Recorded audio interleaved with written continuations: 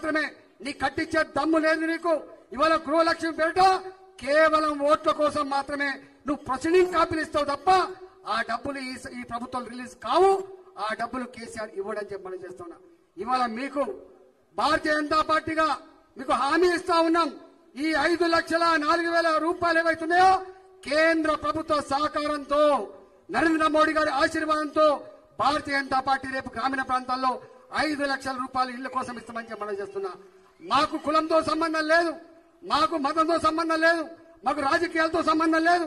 మాకున్న సంబంధం ఇల్లు లేకుండా బిక్కు బిక్కు మంటూ బతకండి పేదలకు డబుల్ బెడ్రూమ్ల కోసం ఐదు లక్షల నాలుగు వేల రూపాయలు ఇచ్చే జిమ్మదార్ రేపు భారతీయ జనతా పార్టీ తీసుకుంటామని చెప్పి మనం చేస్తున్నా. ఇవాళ ఇవాళ పట్టణ ప్రాంతాల్లో కూడా అపార్ట్మెంట్స్ ఏవైతున్నాయో ఈ అపార్ట్మెంట్స్కు అర్బన్ హౌసింగ్ కింద ఇప్పటికే నరేంద్ర మోడీ గారు అనేక కోట్ల ఇల్లు శాంక్షన్ చేసిండు. ఈ పక్కకే ఉంటది ఏపీ ఆంధ్రప్రదేశ్. అది పేద రాష్ట్రం అని చెప్తాడు కేసీఆర్. దివాళి తీసిందని చెప్తాడు కేసీఆర్. కానీ గా రాష్ట్రంలో నరేంద్ర మోడీ గారి సహకారంతో కేంద్ర ప్రభుత్వ అండతో ఇరవై లక్షల ఇల్లు కట్టిందని చెప్పి వార్తలు వస్తా ఉన్నాయి. అక్కడ ఇరవై లక్షల ఇల్లు కడితే ఇవాళ ఇక్కడ మాత్రం ముప్పై ఐదు వేల ఇల్లు పంచి పేదలకు ఏం న్యాయం చేసినామో ఒకసారి చెప్పండి. ఇవాళ అంటున్నాడు మళ్ళా మన అసెంబ్లీలో మాట్లాడుతున్నాడు. మళ్ళా మాకే ఓట్లేస్తారు. మళ్ళీ మేమే అధికారంకి వస్తాం. ఒకవేళ నీకు కనుక అధికారం ఇస్తే మా బతుకులు ఆగమే. మా బతుకులు ఆగమే.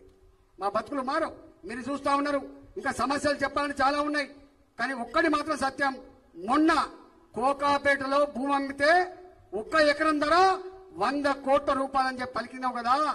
దాన్ని చూసి మురిసిపోయినావు కదా. దాన్ని ప్రజలకు చెప్పినావు కదా. నేను అడుగుతున్న కేసీఆర్ గారు ఈ తొమ్మిది సంవత్సరాల కాలంలో హైదరాబాద్ చుట్టుపక్కల ఏ పేదవాడికైనా ఒక అరవై గజాల జాగిచ్చిన దమ్ముని నీకుందా అని ఇవ్వకపోగా అరవై ఏళ్ళ క్రితం డెబ్బై ఏళ్ళ క్రితం ఆనాడు అసైన్మెంట్ రూపంలో తొండలు గుడ్లు పట్టని భూములు ఆనాడు పన్ను కట్టుకొని భూమి ఉంచుకుందామంటే కూడా ఉంచుకొని చెట్ల చెట్లున్న భూములు గుట్టలున్న భూములు రాళ్ళున్న భూములు చదువు చేసుకొని ఆనాడు దున్నుకుంటా ఉంటే ఆనాటి ప్రభుత్వాలు వాళ్ళకి ఎకరమో ఆరు ఎకరమో అసైన్మెంట్ చేస్తే ఇవాళ రింగ్ రోడ్ వచ్చిన తర్వాత రింగ్ రోడ్ వచ్చిన తర్వాత ఈ పేదలకు పది కోట్ల రూపాయల భూమి ఎందుకు? ఈ పేదలకు యాభై కోట్ల రూపాయల భూమి ఎందుకు అని చెప్పి భయపెట్టించి ఈ భూమిని మీరు అమ్ముకోలేరు ఈ భూమిని మీరు అనుభవించలేరు. మాకు ఇవ్వండి అని చెప్పి ఒక రియల్ ఎస్టేట్ బ్రోకర్ లాగా రియల్ ఎస్టేట్ బ్రోకర్ లాగా ఆ భూములు తీసుకొని ఎకరానికి మూడు వందల గజాల చొప్పున ఇచ్చి ఆ పేదల కళ్ళలో మట్టి కొట్టిండు.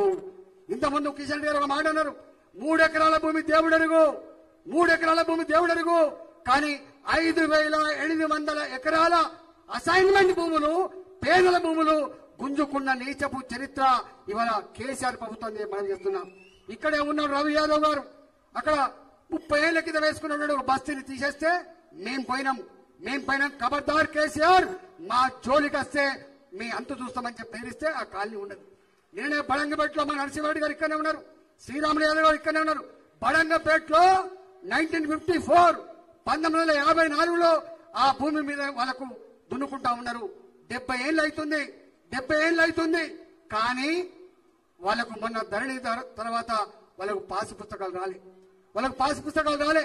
పాసు పుస్తకాలు రానందుకు ఆ భూమి మీద కన్నేసి ఈ బడంగపేట దళితులకి ఈ నలభై ఎకరాల భూమి ఎందుకని చెప్పి ఇరవై ఆరు ఎకరాల భూమి గుంజుకున్నారు.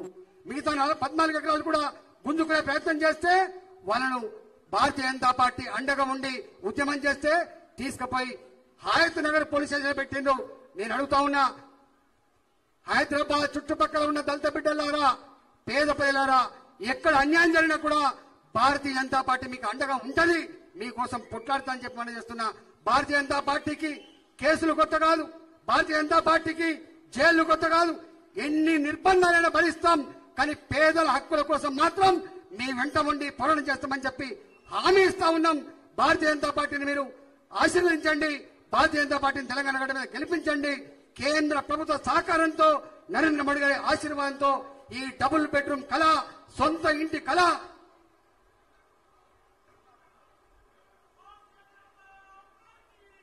సొంత ఇంటి కళ. తప్పకుండా నెరవేర్స్తామని చెప్పి మాట ఇస్తూ ఇవాళ ఇంత